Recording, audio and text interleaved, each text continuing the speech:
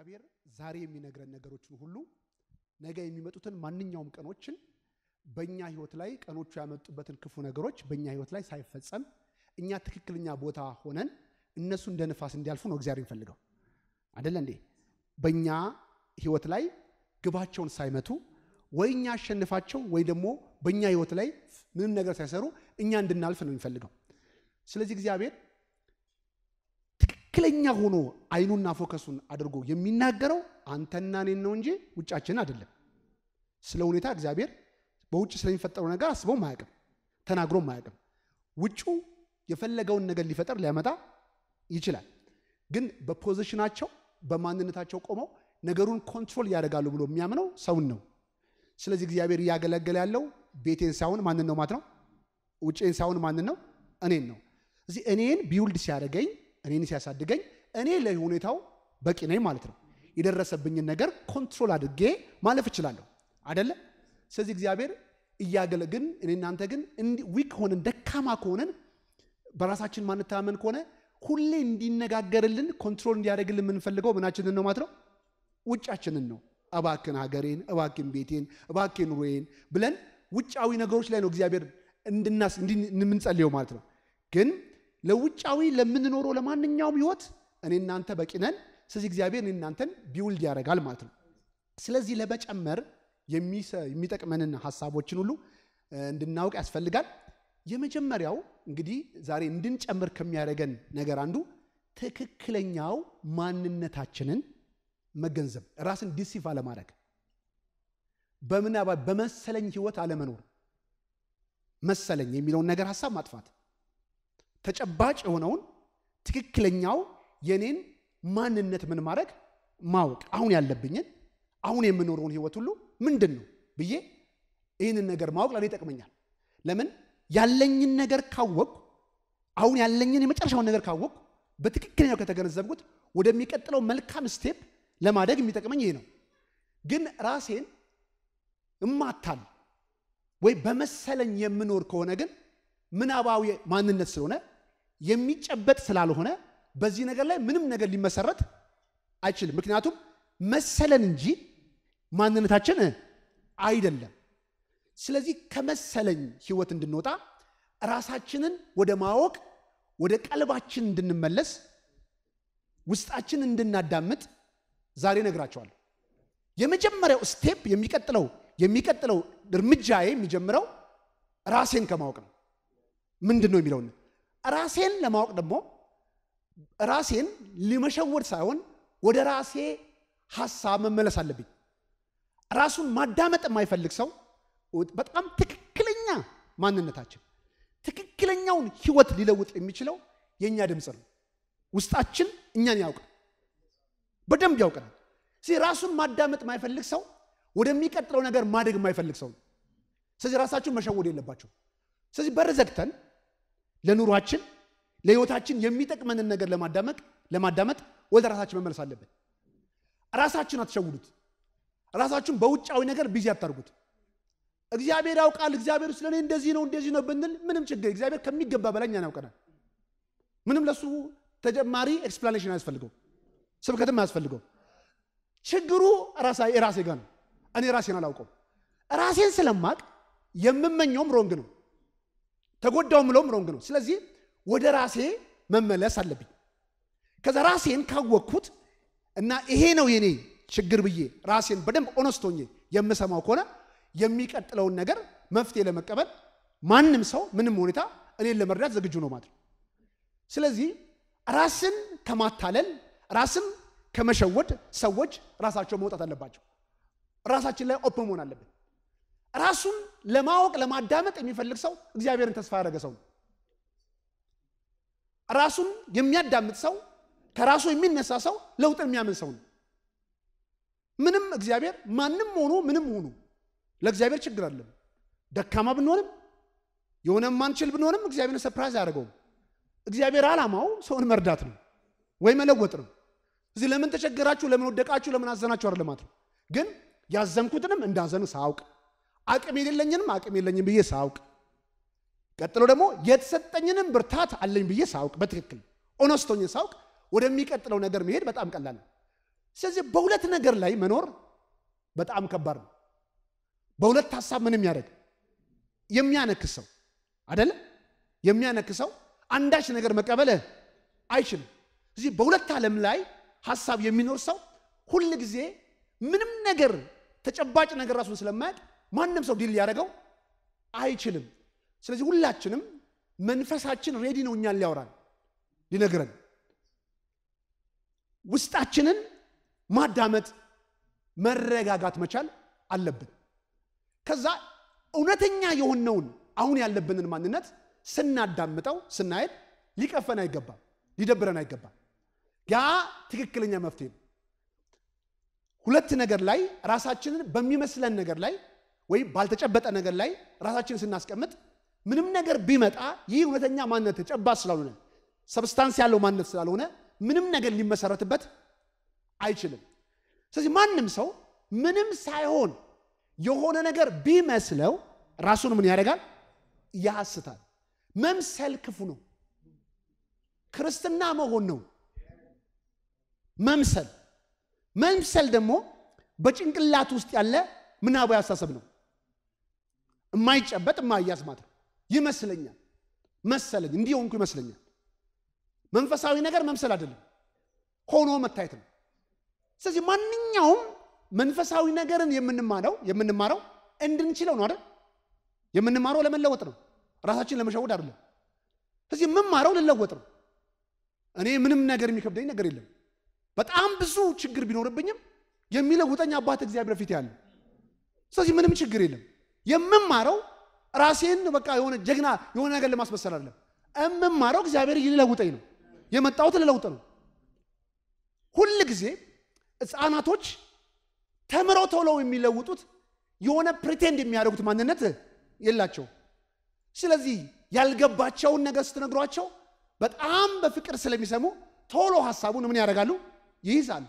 ስለዚህ የሚያሳፍር የሚያስጎዳ ለምንድን ነው ብዬ ማዝነው ማለት የለኝም። ያልቻልኩትን ያልሆንኩትን ነገሮችን ሁሉ ሊያስሆነኝ የሚያግዘኝ መልካም አባት በፊት ያለ። ስለዚህ እየተማርኩ ያለሁት ምንድን ነው? ለለውጥ ነው። ለምንድን ነው ብዬ ራሴ የምታገልበት ነገር የለም። የለውጥ ሁሉ ምንጭ የአባቴ ድምፅ ነው። የአባቴ መልካም ሀሳብ ነው። እዚህ አባቴ ጋር በፍቅር እቆማለሁ፣ በተስፋ እቆማለሁ። የደከመኝ ማንኛውም ነገሮች ሁሉ የሚለውጥ እና እግዚአብሔር የማይጠቀምበት ማንነት የማይጨበጥ ማንነት መሰለኝ ተብሎ የሚኖር ነው። መሰለኝ ማለት በተግባራዊ ዓለም ላይ የማይተገበር ማንነት ማለት ነው። ስትኖሩ በኑሮ ላይ ያ ማንነት የላችሁ። ስትጠቅሱ ወይም ስታውቁ ጥሩ እውቀት አላችሁ፣ ግን ስትኖሩ የማትኖሩበት ኑሮ ማለት ነው።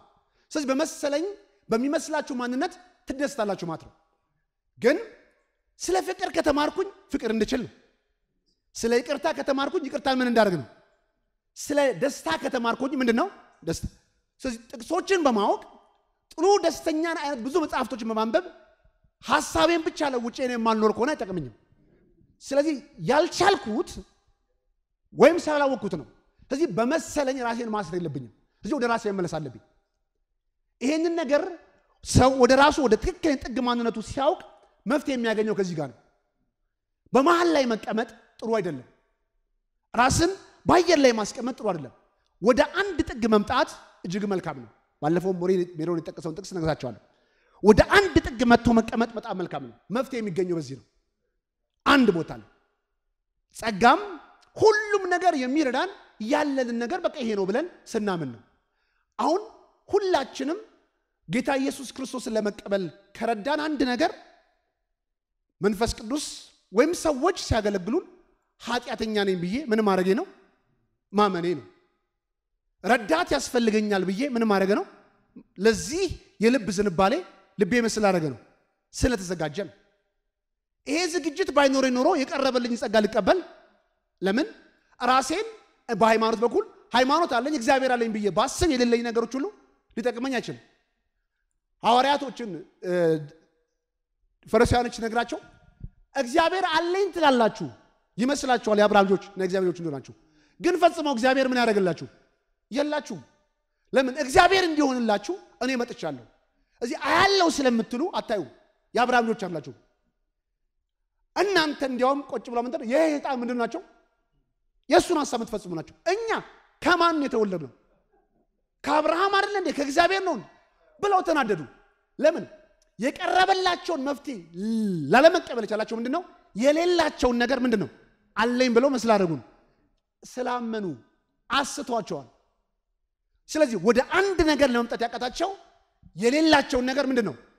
ስለዚህ በተግባር ሲኖሩ የምትኖሩት አለ አሁን እያደረጋችሁት ያላችሁትን ነገር ያላችሁን ነገር ነው። ስለዚህ የምታደርጉት የአባታችሁን ምኞት ነው። ስለዚህ እየኖራችሁ ያላችሁት ነገር ኑሮ ያላችሁን ነገር የሚያሳይ ነው። እኔ ደግሞ የምኖረው የአባቴን ነገር ነው። እየኖርኩ ያለሁት የአባቴን ሕይወት ነው። ስለዚህ ማንም ሰው በምናብ አለኝ ብሎ የሚያስበው ነገር ሳይሆን ያለው ነገር እያደረገ ምን የሚያደርገው ነው የሚኖረው ነው።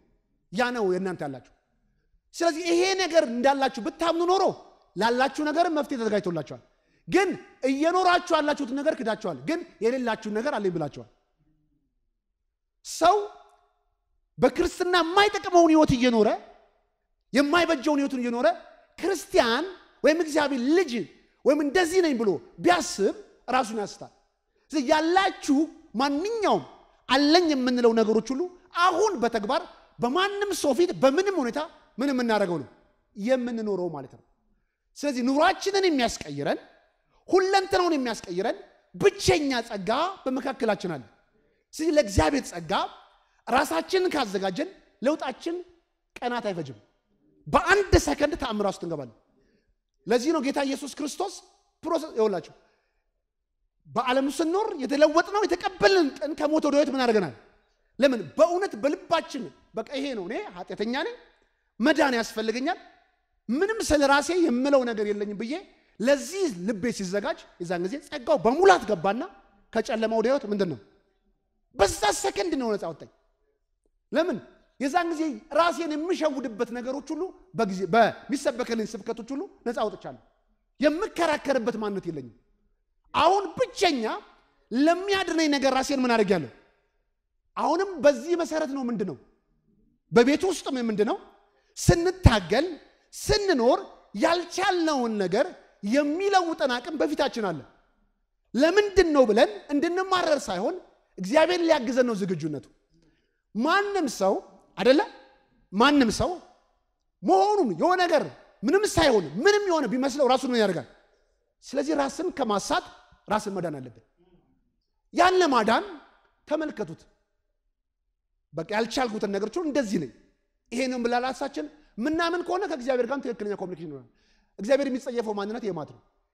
ምንም ፈጽሞ እግዚአብሔር አንተ ታውቃለህ፣ እግዚአብሔር አንተ ትረዳለህ ብንልም መፍትሄው እዚያ ገበያ አይደለም፣ ራሴ ጋር ያለው መስሎኝ የሆነ ነገር ልኖር ይችላሉ ሸጉጄ ግን ከዛም በኋላ ለእውነት ራሴን ከሰጠው ዛሬ የሳትኩትን ነገር ነገ ማስተካከል እችላለሁ።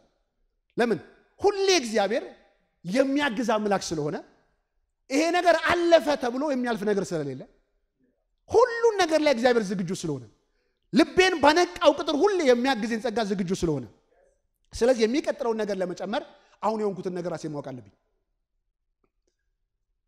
ገላትያ ላይ አንድ ወርድ ላንብብላችሁ። መምሰል ደግሞ የሚመጣው ይህንን የሰውን ዓለም ከመፍራት ነው። እኛ የምንኖረው ለአባታችን ነው አደለ? ለሰው የምንኖረው ህይወት የለም። ሁላችንንም ወደዚህ እውነት ነው ስድስት ሶስት ገላትያ ምዕራፍ ስድስት ቁጥር ሶስት ላይ አንድ ሰው ባይብል የሚለው አንድ ሰው ምንም ሳይሆን ነው የሚለው አልሆነም። አይ መጽሐፍ ቅዱስ የሚያስተምረው ስለምንድን ነው? ስለመሆን ነው። ምን ሳይሆን ምንም ሳይሆን አልሆነም። ግን የሆነ ቢመስለው ያ ማለት ማንነቱ አይደለም። የሆነ ቢመስለው ራሱን ምን ያደርጋል? ስለዚህ እግዚአብሔር እንድንሆን ነው የምፈልገው። የሆነውን ነገር ማወቅ አለብኝ። አሁን የሆንኩትን ነገር ካወቅኩ ወደሚቀጥለው መልካም ነገር ለማደግ የሚጀምረው ከዚህ ነው አደለ እንዴ? የሆንኩትን ግን ሳላውቅ ከምን ተነስቼ እለምናለሁ? ከምን ተነስቼስ መፍትሄ እንፈልጋለሁ? ለምን በመጀመሪያው ጥያቄም የምፈልገውን ነገሮች ሁሉ የተምጣታብኝ እኔ የሆንኩትን ነገር አላውቅም። ጻድቅ አልሆንኩም። ስለዚህ ጻድቅ ኑሮ አላርም ወይ ኃጢአተኛ ነኝ ብዬ ራሴን አላመንኩም ጸጋ እንዳይመጣ። ስለዚህ የምሆነውን ነገር ስለማላውቅ ብለምንም አልቆምም። አንዳንዴ ነጋዴ ይመስላለሁ ራሴን። በቃ የማልሆነው ነገር የለም። ሺህ ነገር ነው የምሆነው። ሺህ ነገር ስለመሆን መፍትሄም ሊመጣ አይችልም። አንዴ አፈር፣ አንዴ ደስታ መሆን ከ ስለዚህ የምንሆን ምንም ነገር አለ ምንም ሳይሆን አለ እዚህ የሆናችሁትን ነገር ማወቅ ወደሚቀጥለው የመጨመር ህይወት የምታደርጉት ለዚህ ነው። ስለዚህ ወደ ግራውንድ መውረድ አለብን። ሁል ጊዜ ሰው የሚጨምረው የሚያድገው ባለው ነገር ነው፣ ውስጣችሁ በተተከለው ነገር አሁን መንፈሳዊ ነገሮች ሁሉ እያለን እየመሰለን የማናድገው ውስጣችን ያለው ሌላ ነገር ስለሆነ ነው። አሁን ተመልከቱ፣ ውጭ ያሉትን ክፉ ነገሮችን ደጋግመን የምናገኛቸውና የምንጨምርባቸው ያሉን ነገር እነዛ ስለሆኑ ናቸው። ስለዚህ ያሉን ነገሮች ላይ ነው ሁል ጊዜ ምን የሚያደርገው የሚጨምር። ሌላ ወርድ ደግሞ ላሳያቸው